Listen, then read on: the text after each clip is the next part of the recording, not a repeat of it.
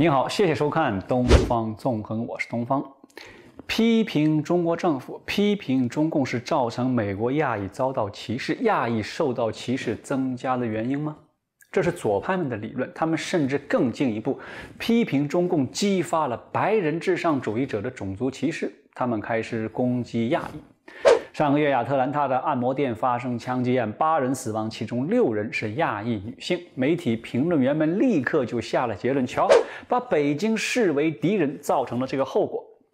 哥伦比亚大学历史学教授 May Nagy 在《华盛顿邮报》发表文章说：“不要再把中国当敌人。”亚裔美国和太平洋岛民机构研究员 Jenny Wang 也发表声明说：“如果美国政府官员发表了对中国和其他亚洲国家造成恐惧和威胁的言论，美国立刻拿种族主义说是质疑美国两千万亚裔的忠诚，是不是爱国？”记者 Peter Bennett 更是警告说，如果美国政客真的要想杜绝对亚裔的歧视，他必须停止散布中国政府危险的言论。我不敢苟同。反对暴力、斥责种族歧视，跟批评一个独裁暴政、一个漠视天赋人权、压制自由的中共政权不矛盾吧？我相信绝大多数美国人明白这个最基本的道理。中共的官僚资本主义经济模式对知识产权的强取豪夺，不遵守国际规则，撒谎成性，对自由社会为主体的国际社会构成了威胁，这不是事实吗？难道不能说、不能批评指责吗？中共的目的就是要做天下，就是要取代美国的国际地位，难道美国就应该拱手相让？为了美国两千万亚裔公民的安全而拱手相让，对吧？我倒是质疑抱这种想法的专家学者、教授们的忠诚，这跟中共的说辞一模一样。在阿拉斯加的美中外交对话会议上，中共官员们就指责西方政客、学者、媒体和其他反中人士利用疫情挑动对亚裔的仇恨。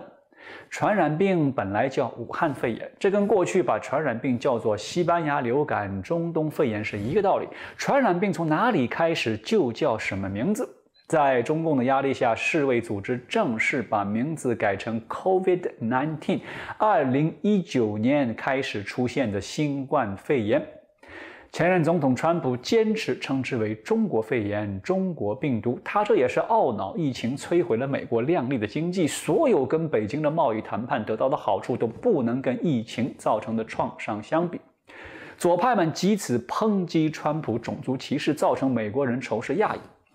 今天世界上所有的人知道疫情来自中国，来自武汉。世界上绝大多数的人都知道，因为北京政府的隐瞒，延误了阻止疫情扩大的最好时机，酿成全世界的大祸。一亿三千多万人感染，接近三百万人死亡，多少人失业，多少商家倒闭，全世界都因此痛恨中共。这也是去年一年之内皮尤研究所民意测验发现，发达国家民众对中国好感一。落千丈的最主要原因。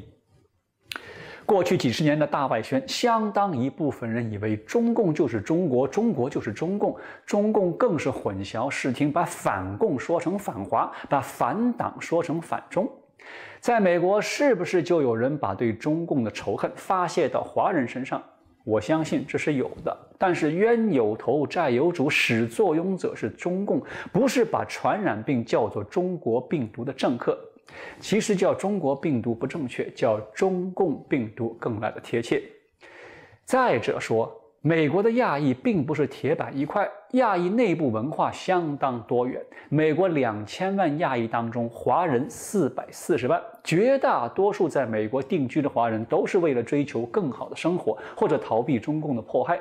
因为华人的勤奋和自律，再加上美国社会的自由和提供的机会，大多数在美国都生活的不错。他们对中共谈不上忠诚。我相信，在美国爱国的华人多的是，爱中共的华人是极少数。要研究一个社会现象，需要长期理性、冷静的观察，对数据进行分析，从个案入手，特别是很爆料、很感情化的个案入手，往往会得出错误的结论。感情用事，往往事与愿违。根据加州大学的研究统计，去年二零二零年，美国大都市中亚裔受到攻击的案例跟2019年相比增加了百分之一百四十五，听起来增幅很大，但是所有新增案例加在一起一百二十。要知道，美国人口可是三亿三千万，一百二十个个案就造成了一百四十五个百分点的变化，可见基数相当的小。如果看看更长远的数据，就会发现，从一九九六到二零一九年，仇视亚裔的犯罪下降了五十个百分点，从三百五十五个个案下降到一百七十九。这是根据联邦调查局提供的数字得出的结论。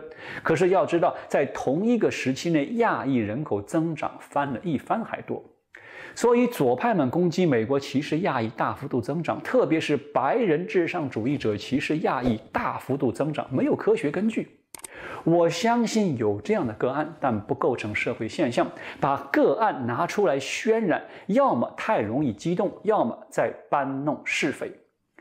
面对美国社会存在对亚裔的犯罪攻击，亚裔社区有不同的反应。一方面，有左派的 Stop AAPI Hate 停止仇恨亚裔和太平洋岛国组织，这个组织的宗旨就是把亚裔遭受的不幸归结于白人的种族歧视。但另一方面，也是近来日益增长的主流想法，那就是反思种族歧视和身份政治化。上星期，几个亚裔组织联合起来，他们提出的第一个要求就是要求拜登政府重新启动对耶鲁大学的调查。耶鲁大学歧视亚裔，限制亚裔学生入学，这是新的种族歧视，跟左派倡导的种族歧视不是一回事儿。作为亚裔，我们不需要左派的种族阶级斗争的说教，我们要的是更实际、符合基本常识的政策，反对一切形式的种族歧视。其实，今天美国社会对亚裔的歧视更多的体现在妒忌。一个接一个的校区取消了重点高中入学考试，因为亚裔学生太多。哈佛大学亚裔学生比例固定在十五到十八个百分点，跟亚裔在美国人口当中的比例是一样的。但你我都知道，如果不考虑种族背景的话，哈佛亚裔学生的比例远远不止于此。我前不久有一个视频谈到这个话题，有空希望您能看一看。